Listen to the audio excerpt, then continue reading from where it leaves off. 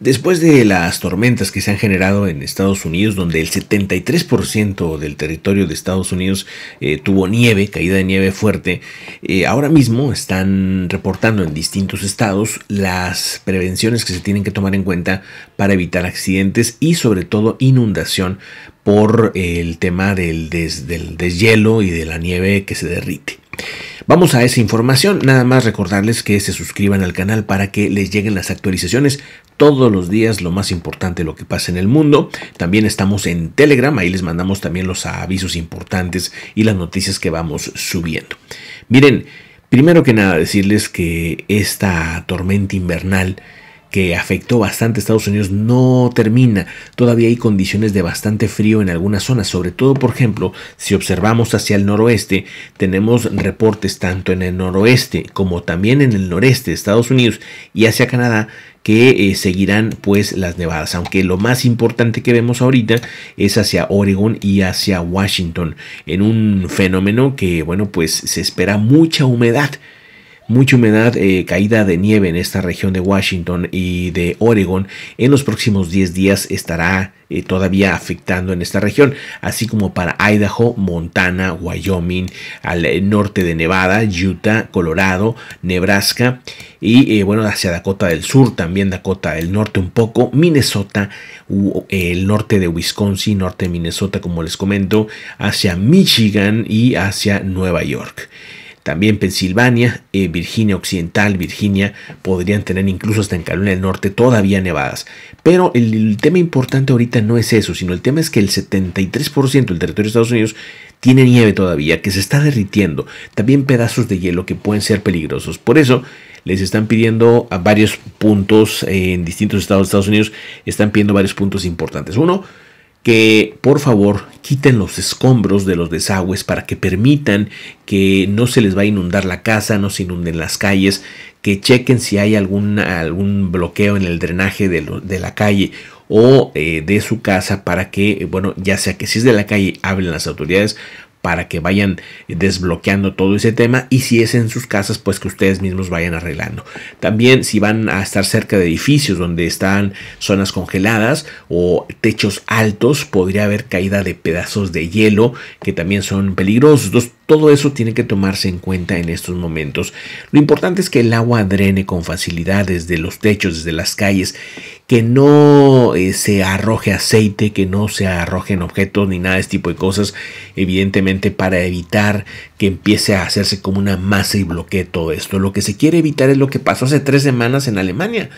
Aquí lo comentamos, en Alemania tuvieron inundaciones, sobre todo en ciertas zonas del norte, porque, bueno, se empezó a derretir la nieve. Y era tal la cantidad de nieve que generó que tuvieran inundaciones y aparte con el agua heladísima, ¿no? Y acuérdense lo que pasó también en el 2020 allá en Ucrania, en Siberia, que tuvieron también inundaciones muy fuertes porque cayó mucha nieve y luego de repente vino el calor y temperaturas de 20, 25 grados que son mucho para, para la caída de nieve y luego de repente tienes temperaturas como un poco altas, por decirlo así, se derrite rápido. Sobre todo es el problema ahora, que el clima es como muy cambiante, muy bipolar, muy extremo. Entonces, pasa de ser muy frío a pues algo de calor y ese calor genera un deshielo rápido. Ese deshielo rápido genera las inundaciones. Cuando es poquito a poquito, pues se va desahogando, desahogando, perdón, ahí todo el tema y no tienes tanta problemática. El asunto es que hay cambios radicales y eso es lo que generan pues estos problemas. Recordar que la misma NOAA pues asegurado que esta situación no se ha terminado, que todavía hay condiciones de mucho frío. Y quiero que veamos el mapa en qué zonas todavía se va a estar dando condición de frío para los próximos días, sobre todo para el día de mañana, que hacia lo que es el noroeste, noroeste, hacia la costa este, va a haber bastante frío. Y este tema va a ir como quiera circulando hacia el este, o sea, del noroeste al este, teniendo algunos estados con temperaturas muy frías todavía de menos 15 grados, como podemos observar, este, hacia el norte de Estados Unidos, como eh, lo que es Wyoming, pero también hacia otros estados, como el mismo Idaho, que también tienen temperaturas muy frías, hasta menos 17 grados. Es eh, todavía bastante el frío que se va a tener, entonces, pues tengan en cuenta esto, Colorado, también Nevada, norte de California, tengan eh, pues en cuenta que va a seguir haciendo frío, que no, vamos, no se termina esto de un día para otro y que, bueno, pues para el miércoles, para el, jueves, incluso todavía para Texas les va a tocar algo de heladas hacia el norte, ¿no? Otra vez heladas importantes, aunque solamente serán aparentemente para el día viernes, que tendrían temperaturas de menos 1, menos 2, menos 3 grados, muy al norte de ese estado tejano, ¿verdad? Como quiera, esto sobre todo será para las madrugadas, para las noches, que es donde se están dando las temperaturas más heladas, para que la próxima semana, poco a poco, hacia el sur de Estados Unidos se mejore el clima, pero no para Arizona, no para Nuevo México, que seguirán las heladas todavía la próxima semana, así que pues atentos, incluso California, ¿eh?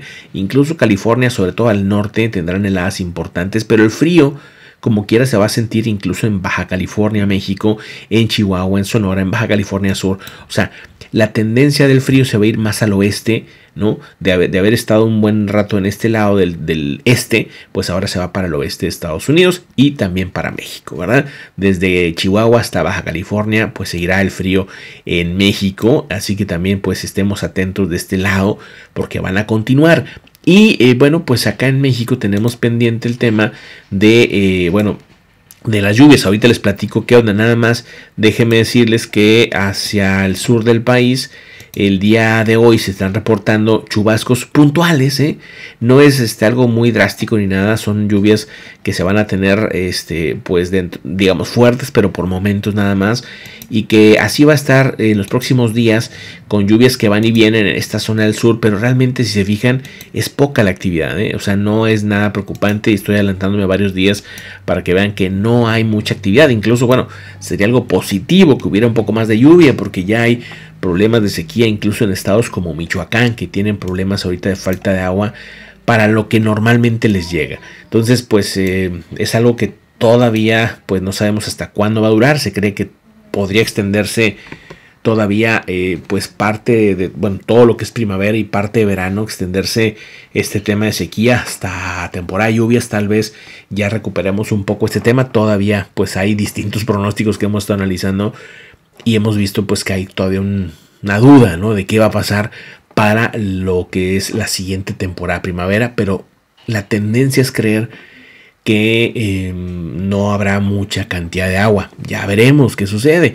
Mientras tanto, pues ya comentamos dos, 12 pronósticos o predicciones que se hacen en el tema de las temporadas de huracanes de lo que calculan sería para esta temporada que viene que todavía pues estamos este, tranquilos, no, no hay nada por ahí en ese sentido y que creen que no sería tan fuerte como en otros años. Así que pues también es un tema que ya estaremos confirmando si es que eso se, cree va a ser así.